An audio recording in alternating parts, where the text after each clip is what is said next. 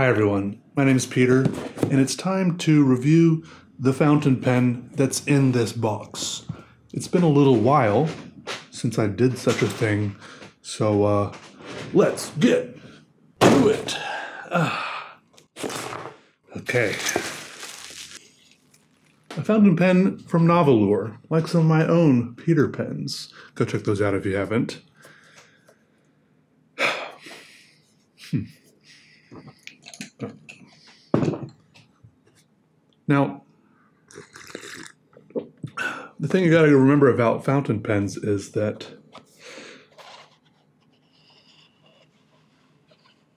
they're really cool. I don't know. I don't know what I was going to say actually, but they are really cool. Check that out. Let me slide it out of the protective plas- plastic sleeve. So this is called the Rainbow Wrasse. It's supposed to be inspired by a similarly named fish that sparkles in pretty colors in the sunlight. So we got this beautiful, glistening, sparkling, vacuum filled demonstrator body with rainbow trim on all parts. Look, I've got sun coming through a slit in my blinds. Oh, yeah.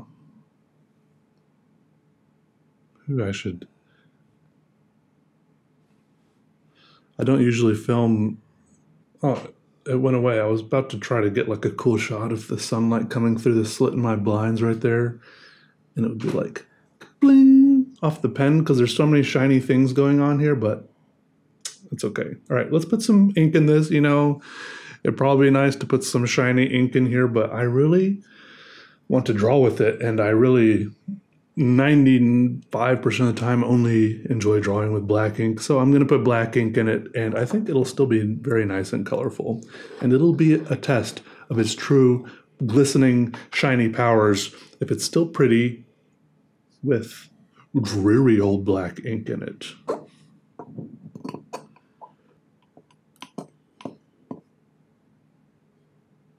Got like this um, airtight plunger thing in there. Yeah, come on. Oh yeah, it's pulling some ink up in there now. Or maybe I'm doing it wrong. I feel like I say that a lot in my fountain pen videos. Surely all these ink Olympics won't end poorly.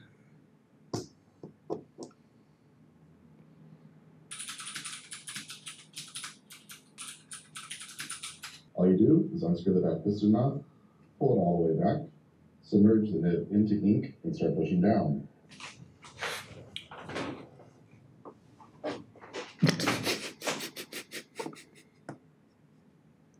Guys, I was doing it backwards. You're supposed to you're supposed to This is the first time I've used one of these, okay? It's my first time.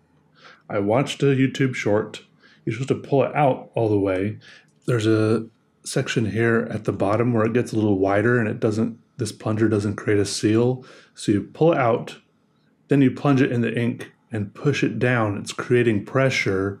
And then when it gets passed into this little section, the pressure releases and the ink rushes up around the plunger in this little section here. I think that's what's supposed to happen. Okay. Let's see if it happens here. Plunging into my extremely full ink bottle. It's creating pressure. Look at it go. It is filling up. Well, it filled up a bunch, anyways. It's as much as I need.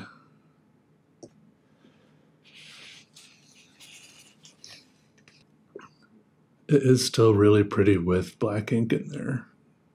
Look at that. The black ink does not stop the sparkle.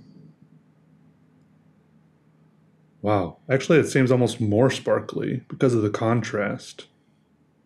I like that a lot. Anyways, now that I struggled with the vacuum filler because I Didn't read the instructions. This is a uh, medium nib I have here. Let's try doing some drawing. Hmm. So the pen is sparkly and it has as many colors as you could ever want with its rainbow accents. But the question remains does it perform? I think the answer is yes. I, like I said, I have the medium nib here, and even with the, well, like you saw, it didn't really fill up the reservoir all the way when I performed, when I finally figured out how to perform the vacuum fill action. Kind of just, it squirted a bunch of ink up in there. And I did this whole drawing that took several hours without having to refill the pen at all. And that's what I've found in the past. Like fountain pen ink, it goes farther than you think it will, unless you're like really laying down big, thick uh, sections of ink, or if you're using paper that is very absorbent. Like if you're drawing on a paper towel, uh, it's going to use a bunch of ink. But this was pretty good. I'm drawing on Bristol paper here, which is pretty stiff, crisp paper, and uh, it worked good. It felt good. It you know, some of the things I don't like about fountain pens ends up being things like having to feel like I'm pressing too hard just to make it work, or if it feels too big and heavy in my hand, like if I'm just experiencing a bunch of fatigue, right? When I'm drawing, I just want it to be about the drawing and not me having to struggle with the actual pen itself, which is, I think these are things I mentioned before, and none of that was an issue with this pen. So, if you want to grab yourself one, if you like how it looks, if it, uh, you know, if the sparkly glint catches your eye, there's a link in the description. It is an affiliate link, so I can make a couple bucks by recommending it to you. Um, and of course, you can put pretty much any fountain pen ink in it that you want. There's about 100 billion options there, just maybe not India ink in other news, I'm I don't I think it, this happened after the video, so you can't see it in this video maybe, but I am a little bit sunburnt, which is weird because I went out to um, the lake with some friends a day or two ago, and I didn't expect to get sunburnt because it was kind of dreary, overcast weather. And so a few times we went out on a boat, we were just kind of riding around you know, a pontoon boat. I don't know who came up with that word, pontoon. Funny word, funny boat. I think it's appropriate actually that pontoon boats are named that because it's pretty much a. Um, if you don't know what a pontoon boat is, it's pretty much a platform, a flat rectangular platform, and then it has two kind of metal tubes underneath that it's resting on. Like if you think of a seaplane, right? How a seaplane lands on those two uh, hollowed tubes, kind of. It's kind of a, a pontoon boat. It's kind of the the seaplane version of a boat, except that pontoon boats you just take away the airplane part and you just put a square platform with a bunch of comfy cushiony seating. It's basically the most relaxing way to move around on a on a body of water, assuming there's no big waves or anything. I mean, but they can take waves pretty good. It's just pretty much the lounge. It's just a floating, movable water lounge. And yeah, anyways, what I'm trying to say is I was very shocked that I got sunburnt because the sun came out for like two minutes the whole day.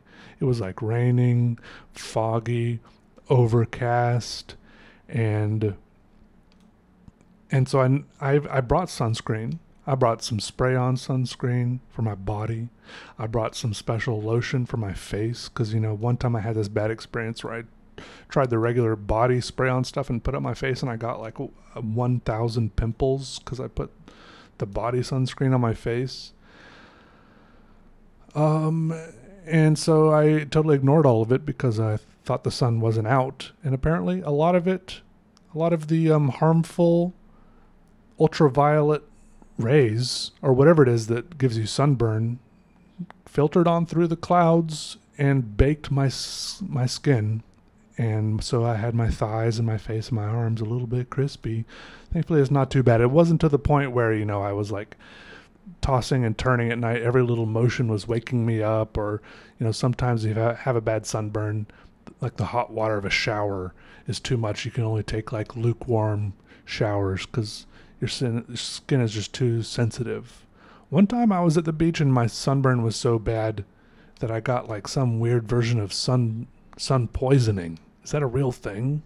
But I remember I was like everyone else was having fun out on the beach on like the second or third day and I was like in the bed uh, back at like the condo or whatever and I was like lathered in this aloe vera lotion and someone had gone to the drugstore and gotten some for me with like like lidocaine in it or something like as I, I was trying and I was like taking like Tylenol or something.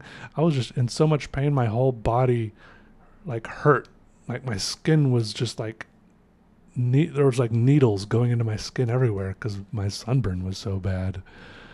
Look I'm just my skin is uh, real pale and burns easily, and so now I know I'm not even safe on cloudy days.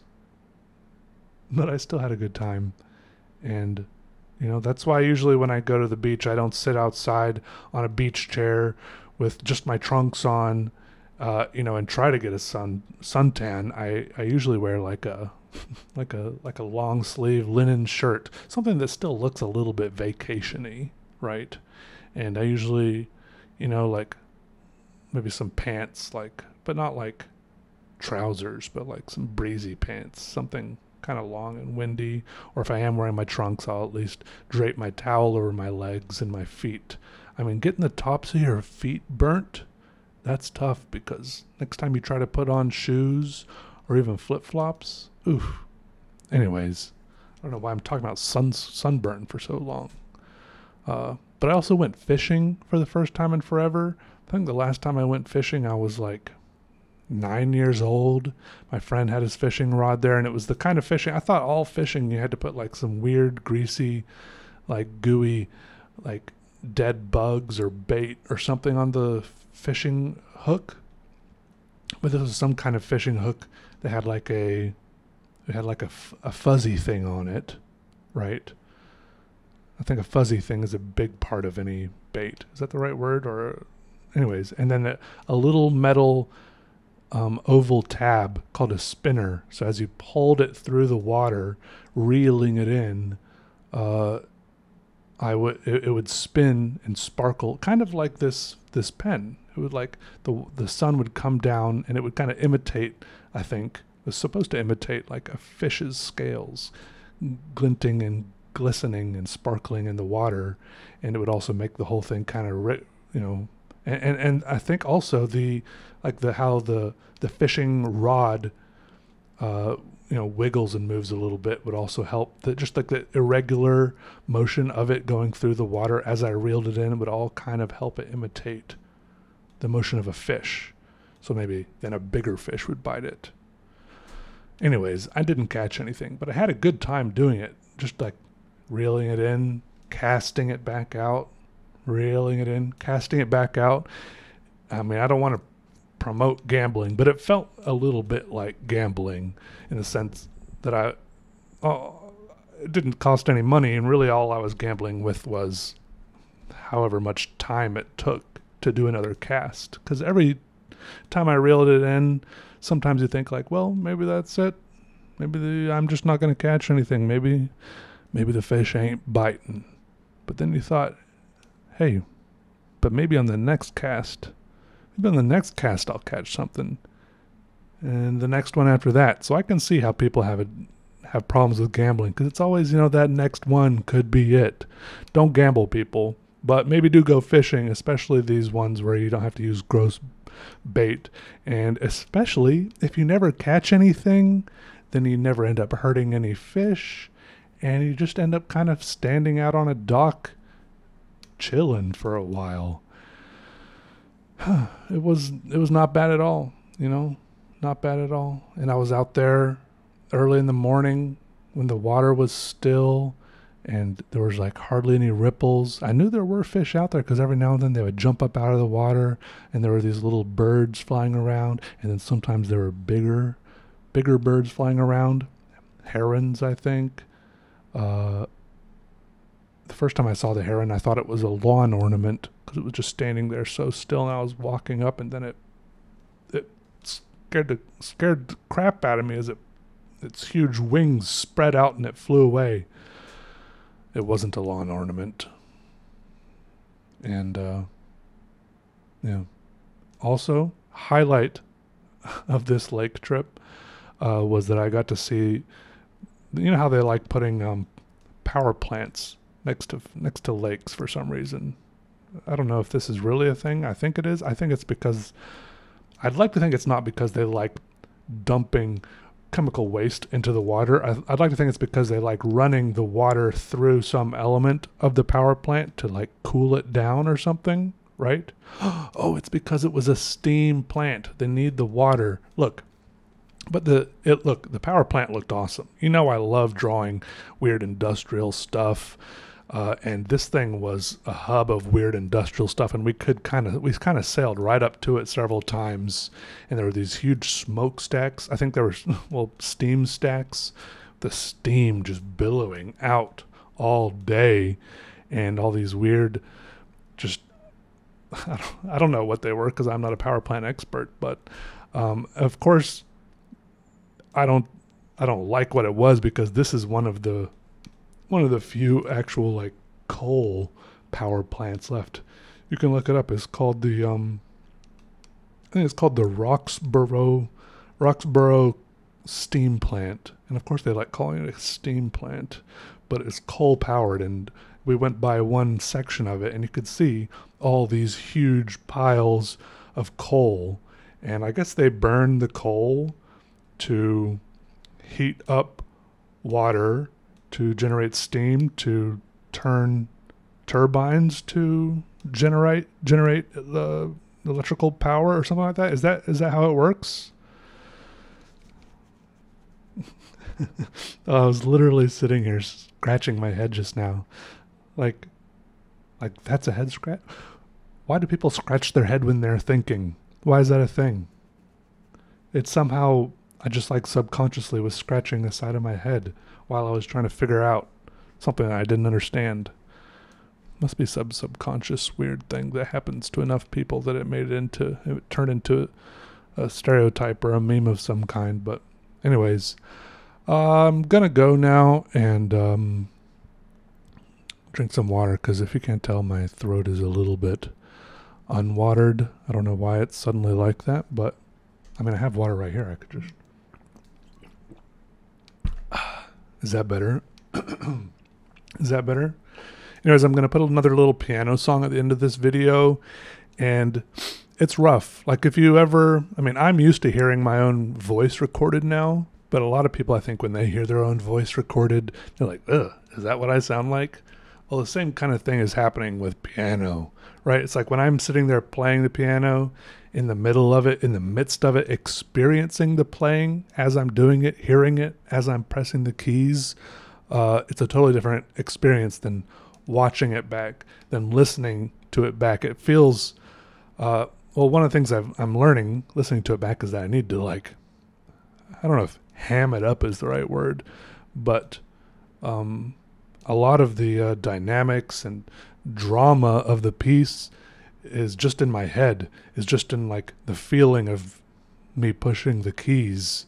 And when it's just, when I'm just listening to it, it, it feels a lot flatter. But look, I'm going to go ahead and record it because I still want to um, document document where I'm at, right? Because a lot of the times when I'm learning these pieces, I look I look at I look them up on YouTube because they're they're beginner pieces, so a lot of like um, I don't know how to describe them. There's there's a few there's a bunch of YouTube channels that are where they just play piano pieces that are like in all these beginner books, uh, and then people like me who try want to know how what they sound like or want to see how they're played go and use them use these videos as references, right? And then a lot of these people I've seen comments under these videos of people saying, "Oh wow, I remember when I first played this four years ago or whatever. I wonder. I wish I had. Rec- uh, basically, people wishing that they had recorded themselves, so that and then and then they're talking about all these crazy pl- pieces that they're playing now, and basically, I want to be able to see the contrast, the difference, the progress, right? And I won't be able to see that unless I record where I'm at now. So I do have the urge to not show it, to not record it until I get to some level of virtuosity, right? Until I am, you know, a great piano player and and do feel like I can show off to the world. But that moment may never come because I'll always have a higher, uh, you know, high goals for myself. And the more I learn, the higher those goals will get because I'll learn about you know the more i can do the same thing happens with drawing so don't hold you know don't stop yourself from sharing your artwork whether it's drawing or or music or or whatever it is that you like doing. Don't stop yourself from sharing it or anything just because you know you can get better. It's okay. You will get better. Just keep plugging away share it or document it somehow. I don't know what i'm saying but anyways Bye, everybody. Thanks for watching, listening, hanging out, and uh, wear sunscreen even on cloudy, cloudy days, all right? All right. Goodbye. Goodbye. All right. I've been working on this song called Uptown News. The tempo is a little jazzy, it's a little swingy, right? So, as a as a new piano player, that's been the challenge with this piece, but it's been fun. It's been fun.